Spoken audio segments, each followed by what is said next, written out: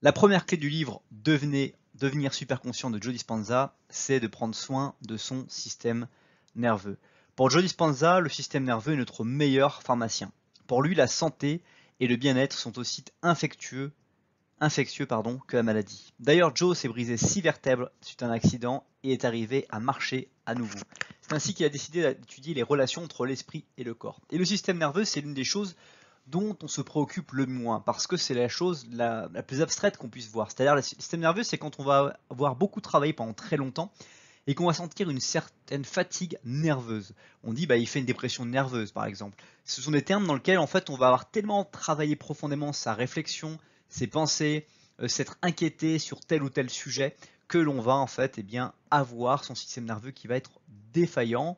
Notamment il y a un équilibre entre le système parasympathique et le système sympathique et donc on va avoir un déséquilibre trop profond qu'il va falloir rétablir. Et ça c'est quelque chose de très important dans le système de Joe Dispenza qui est de chercher à travailler son système nerveux, chercher à l'équilibrer, ne pas être toujours dans le combat, ne pas être toujours dans la volonté d'en découdre, mais avoir aussi des moments de décontraction, de déconnexion.